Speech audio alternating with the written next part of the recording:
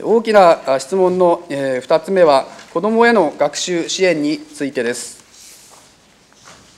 1点目、先進地について、全国の小中学生を対象に実施される全国学力テストの結果、福島県平均が数学 AB とも全国平均を下回るという結果が出されており、子どもたちの理数系科目の強化が市教育委員会からの答弁でいただいておるところであります。もとより、学力は学校の授業だけで養われるものではなく、家庭や学習環境も大きな要因であります。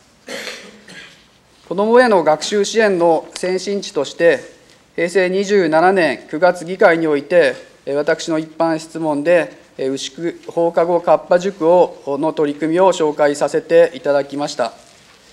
放課後の学び場授業、牛久放課後カッパ塾として、全家庭向けに提供している先進自治体であります。基礎学力の向上や学習習慣の定着を図るための児童の自主学習を支援しております。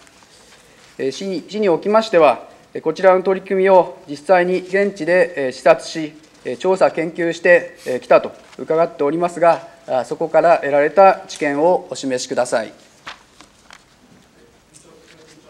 教育部長。市教育委員会におきましては、児童・生徒の確かな学力の向上を図るため、学校における学習指導の改善充実に鋭意努めているところであります。一方で、学力向上のためには、児童・生徒の学習意欲の向上や、学習習慣の形成はもとより、家庭も含めた授業時間外での学習時間の量や質の確保も重要なことであると捉えております。このことから、授業時間外での子どもたちの学習を支え、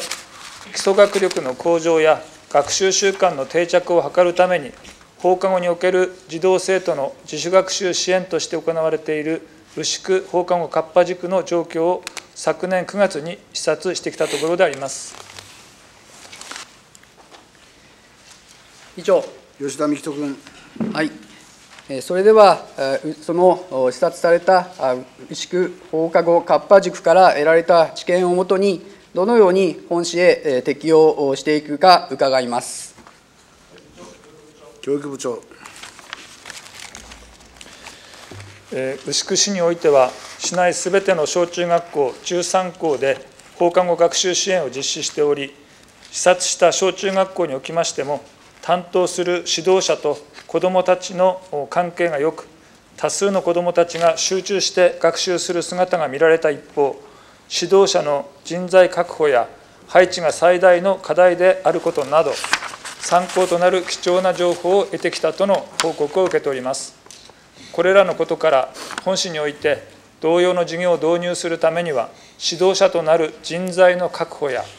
中学校の学習支援に対応することができる指導力のある人材の配置、さらには自ら学ぶ意欲を喚起するため、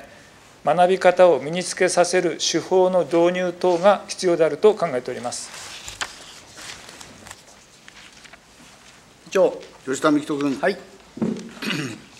2点目、学習サポート連携事業について伺います。今伺ったご答弁いただいた内容をもとに、学習進度の遅れだとか、学習環境が整っていない子ども等に対して、広くそれらをサポートしていただきたいと思っております。先進地察から得られた知見をもとに、平成28年度から開始予定の学習サポート連携事業について伺います。教育部長。学習サポート連携事業につきましては、子どもたちの確かな学力の向上を目的に、学校、家庭、教育専門事業者等が一体となり、連携した取り組みを推進する事業であります。本事業においては、放課後、教育専門事業者による学習支援を行うことにより、安定的に質の高い指導を提供するとともに、学習によって得られた力についても適切に評価してまいります。また、その評価結果を踏まえて、子どもたちの学習習慣や生活習慣の充実を図るために、教員や保護者を対象とした勉強会や研修会を行うなど、その連携体系を構築することにも重点を置き、事業を展開してまいる考えであります。議長。吉田幹人君。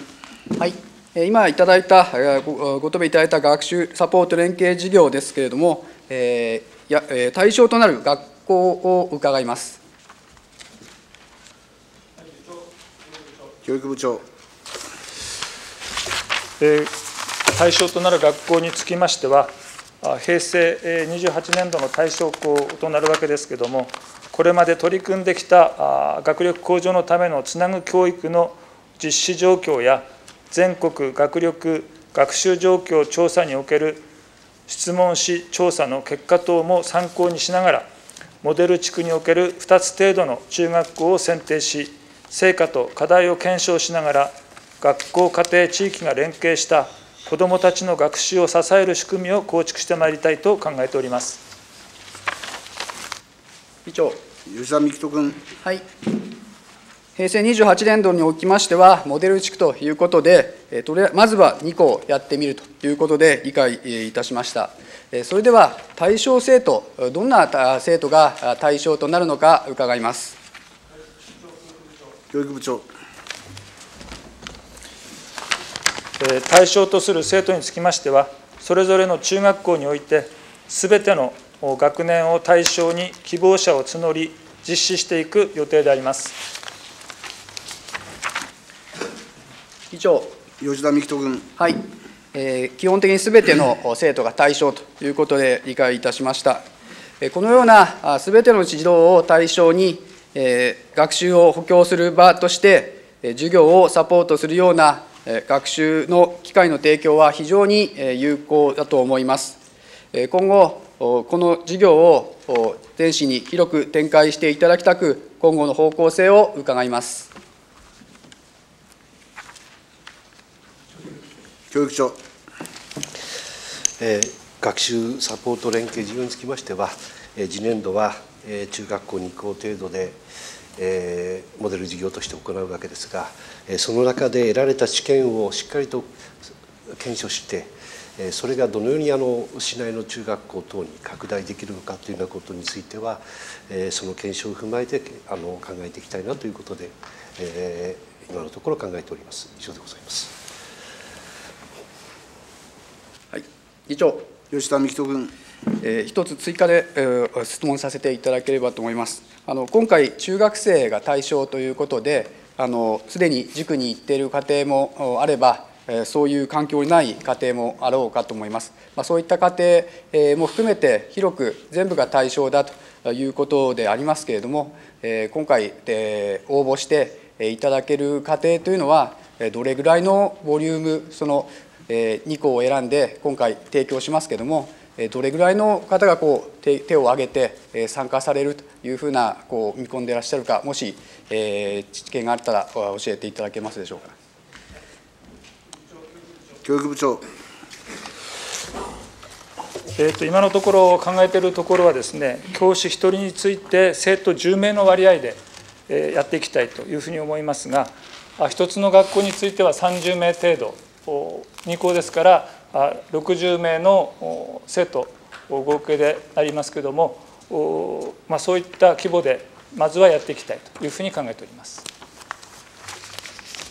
以上、吉田幹人君。はい、えーご答弁いただいた通り、あの評価をして、え次につなげていくということですので、えーぜひともあのこの事業を成功させて、え子どもたちの学力が少しでもこう上がるよう、祈念、え申し上げて、次の質問に移りたいと思います。